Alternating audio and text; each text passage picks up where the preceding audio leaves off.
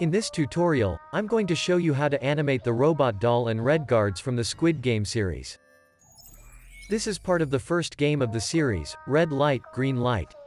We'll start with the red guard first. We will be using the joysticks and sliders rigging tool to animate our red guard characters. The illustration file is available for you to download for free in the description section below. If you have access to our After Effects library, you'll also be able to download the illustration and animation files from the library. Before animating, we'll need to mask this circle on the guard's mask by using Set Matte.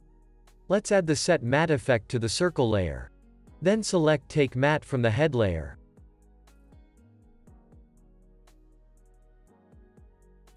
Copy the effect to the mask and shading layers as well.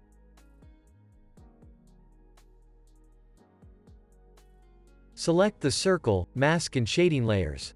Add a keyframe at the first frame to their position, scale and rotation. This will be his front pose. Then click origin at the second frame. We'll adjust these layers position, scale and rotation at the second frame to make him look to the right.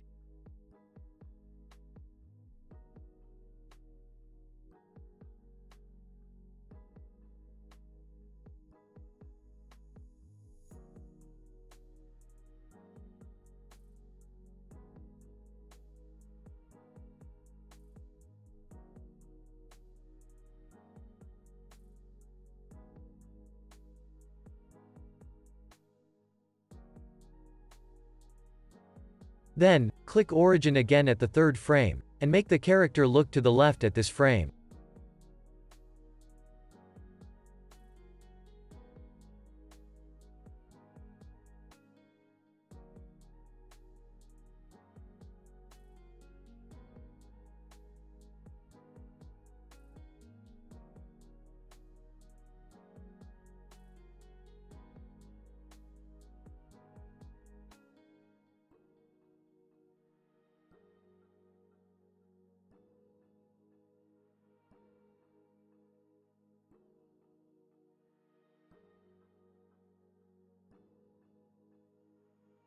Click origin again at the fourth frame, but this time we'll make him look upwards.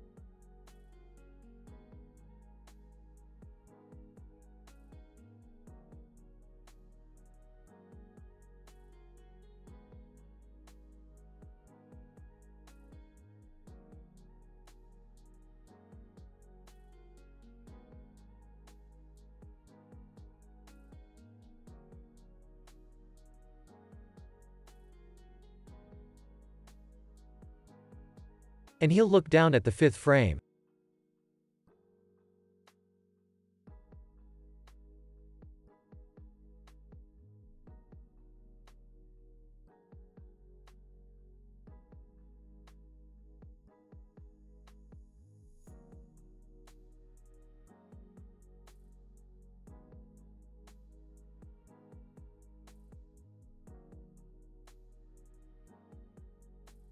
After setting 5 consecutive keyframes to represent the character's front, right and left, top and bottom extremes, or key poses.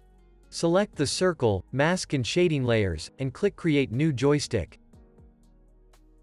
Give it a name and we'll have this joystick controller.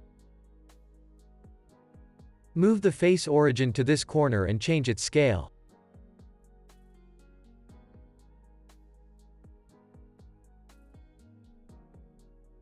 Let's lock the face origin. And we'll have this small square adjuster that helps us control the character's face movement easily by moving the adjuster around. The joystick controller acts as a guide layer, so it will be invisible when you render your project. Now, to animate his head movement, we'll just need to keyframe this face adjuster's position. Let's separate the face adjuster's position dimensions, and keyframe its X and Y position, to make the character turn left or right, up or down to your liking.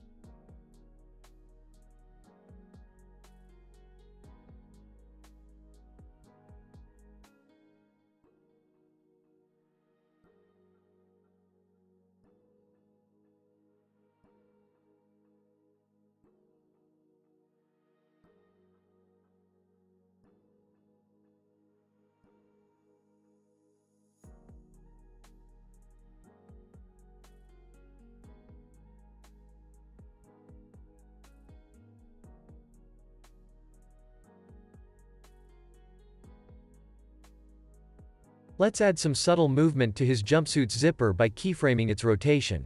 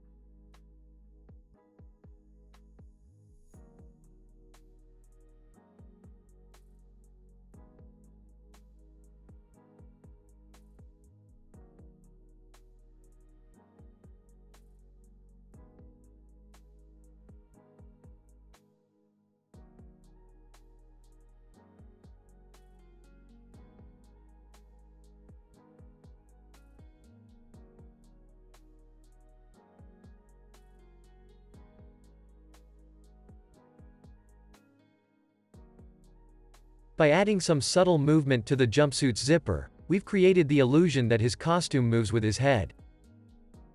After the red guard is animated, we'll drag and drop the red guard composition to our timeline. And change his position to make him stand next to the doll like this.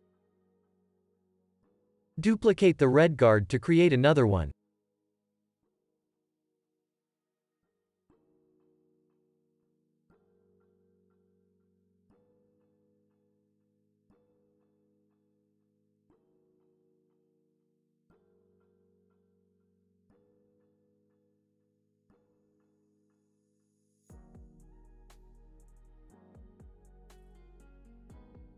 Offset the red guards to randomize their movement.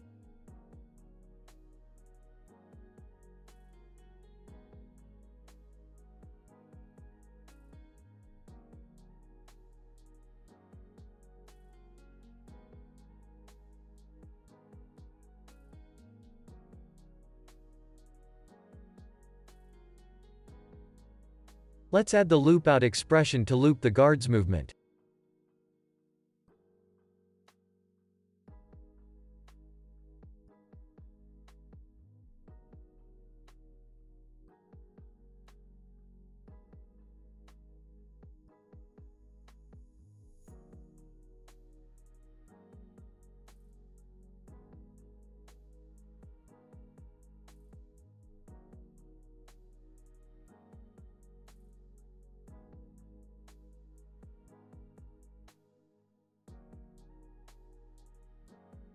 Adjust timing and spacing of the red guard's keyframes to smooth out his movement.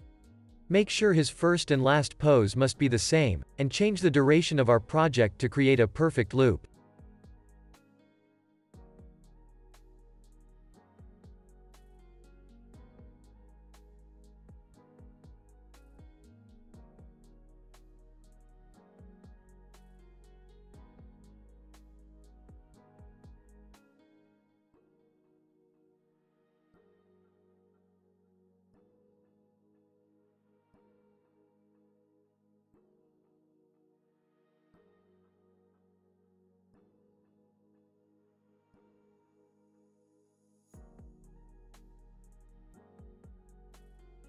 And we have just finished animating the red guards using the joysticks and sliders tool.